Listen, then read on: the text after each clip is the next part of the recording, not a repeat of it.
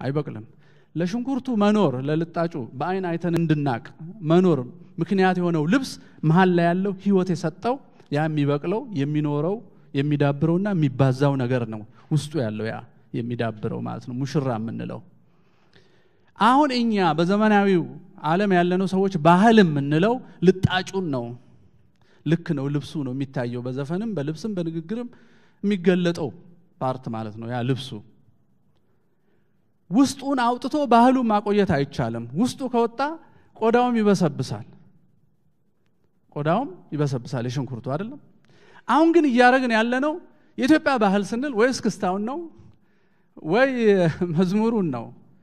እስክስታውን የፈጠረው ፍልስፍና መዝሙሩና ዝማሜውን ያመጣውን እውቀትና እምነት ለመረዳት አንፈልግም። ከውጭ ያለውን ልብስ ግን ለኢንከም ለቱሪዝምና ለገጽታ እንጠቀምበታለን።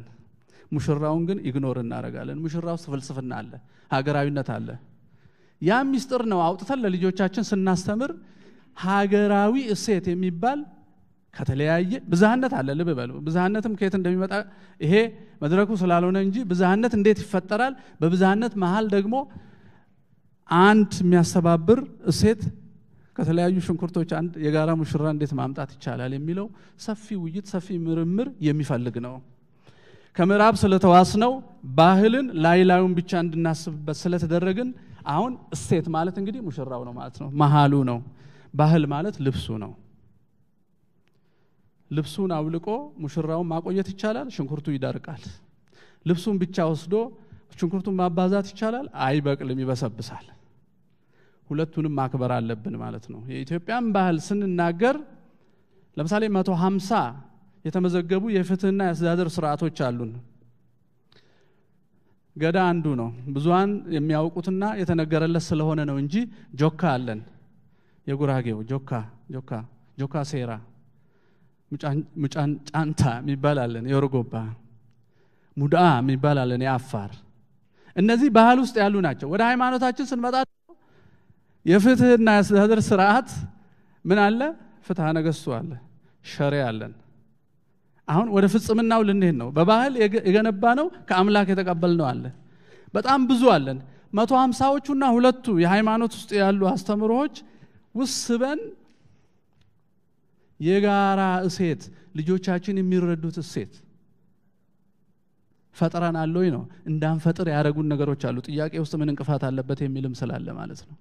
እንዳንፈጥር ያደረገን እነዚህ ገብቶን የጋሪዎች እንዳንፈጥር ያደረገን የተውሶ ትምህርት ስለምንማር ነው። ዩኒቨርሲቲዎቻችን ሲመሰረቱ መምህራኑ የመጡት ከአውሮፓ ነው። ትምህርቱ የተቀረጸው ካናዳውያን ተጠርተው በጂስት ነው የተማርነው። ከዛ በኋላ አንዴ ከአውሮፓ፣ አንዴ ከአሜሪካ፣ ከአንዴ ከራሽያ ነው የተማርነው። እኛ ራሳችን ኢትዮጵያኖች የተዋስናቸው የተለያዩ ሴቶች ይኖሩናል ማለት ነው።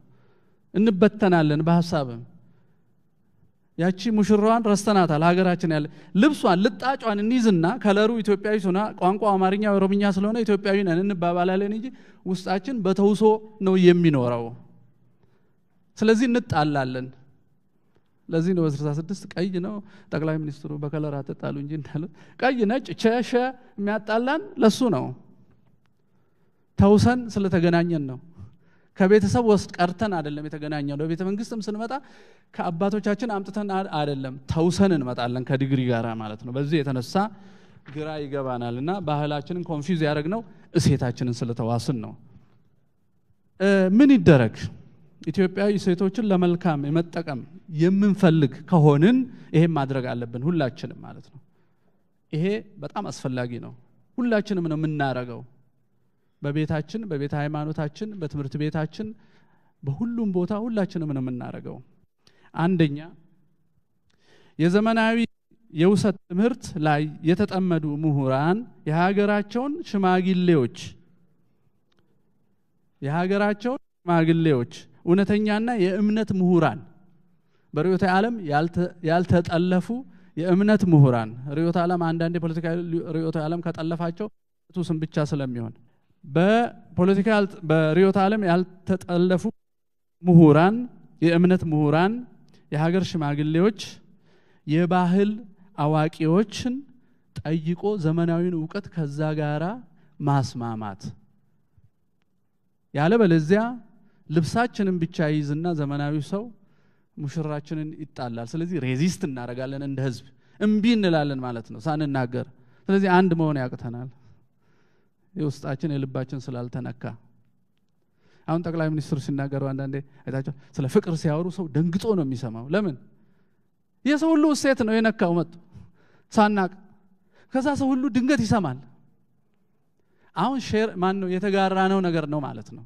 የተጋራነውን ነገር ስለሚነካብን ነው ቶሎ ወደ ማዳመጥ የምናዘነብለው። ተውሰውብን ቢያመጡ ኖሮ ጠቅላይ ሚኒስትሩ አንሰማቸውም። እናደንቃለን እንጂ አንቀበልም።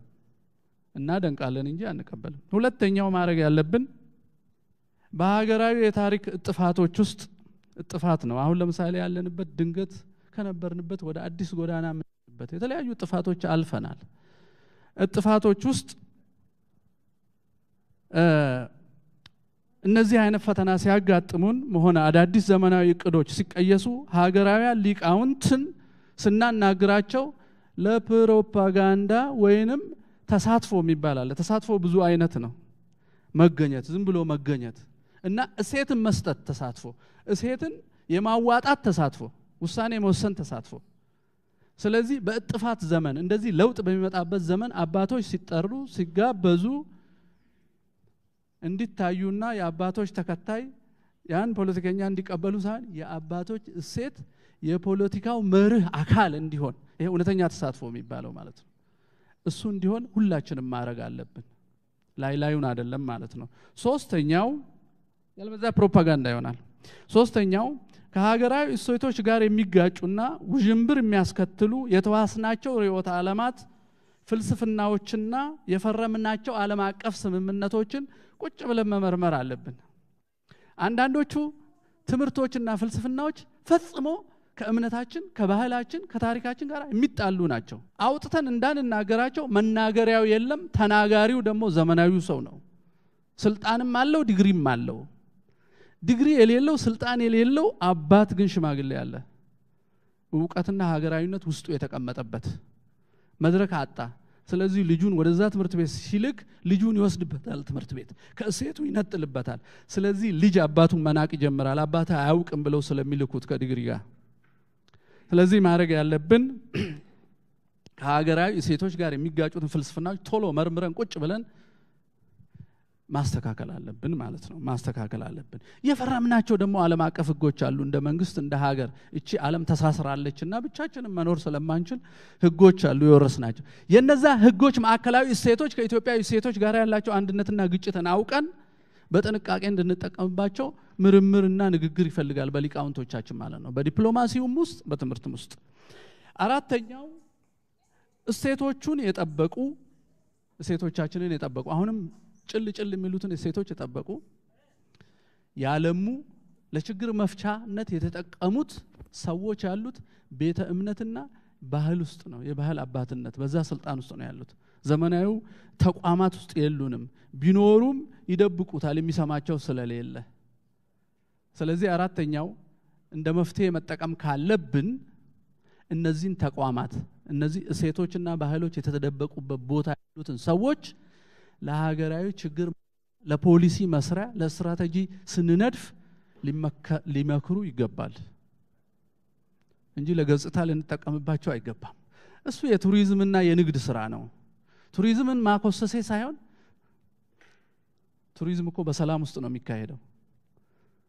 መዝናኛ ነው አብዛኛው ፓርቱ፣ ማድነቅ ነው አይቶ።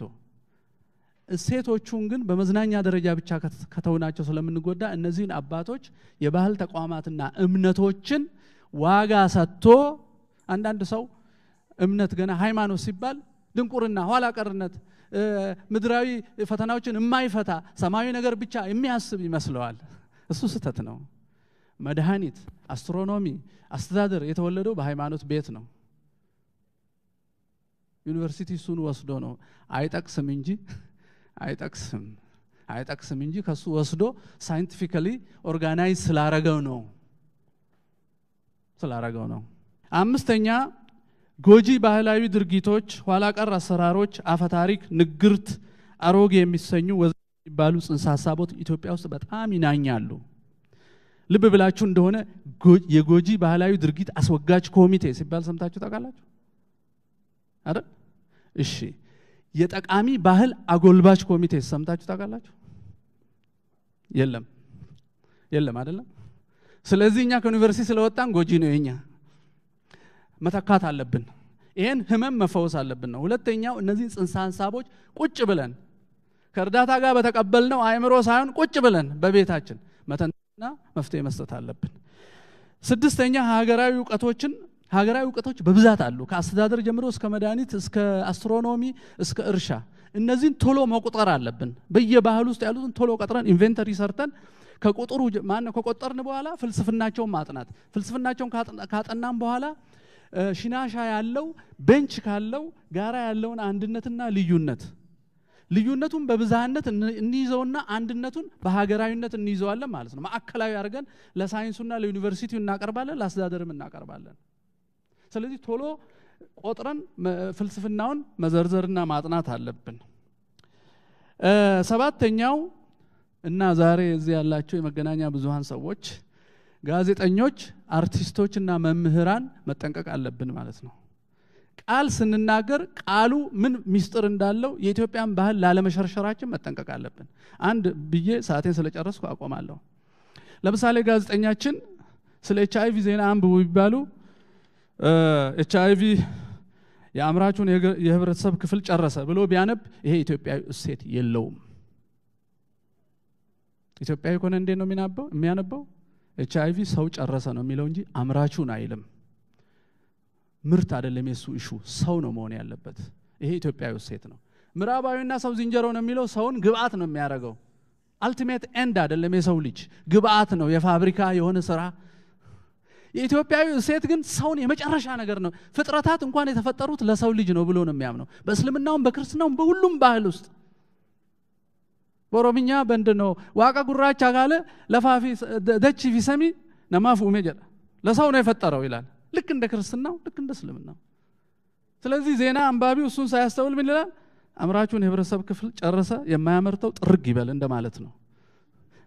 ሚስጥር አለ ማለት ነው ከዛ ጀርባ እና እሴት ቋንቋና ቃላትን ሁሉ ስለሚጠብቅ ጋዜጠኞች፣ የ art ሰዎች የሚሰሩትን art፣ የሚስሉትን ስዕል፣ የሚተውኑትን ትወና ፖሊሲ አውጪዎች የሚጽፉትን statement መጠንቀቅ አለባቸው። በኢትዮጵያ ህገ መንግስት ምዕራፍ ሁለት ቁጥር ዘጠኝ ይመስለኛል ይህ ህግ የህጎች ሁሉ የበላይ ነው ይላል ይልና ምንም አላለም። ከዛ በኋላ እንግዲህ የህገ መንግስቱ ተንታኞች የሚሉት ይኖራቸዋል። የትኛው ህግ ከቤተ ክርስቲያንም ህግ በላይ ከሸሪያም በላይ ከየትኛው ህግ በላይ ነው? ተሳትፈውበት ነው እንደዛ ያሉት? የእኛ እዛ ውስጥ ስላለ የበላይ ይሁን ብለን ነው የተስማማ ነው ነው እኛ በሌለንበት ነው የሁሉም በላይ የሆነው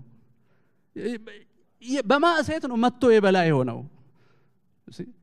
እሴትና ባህልን ስንገፋው ብዙ ምስጢር ውስጥ ይከተናል።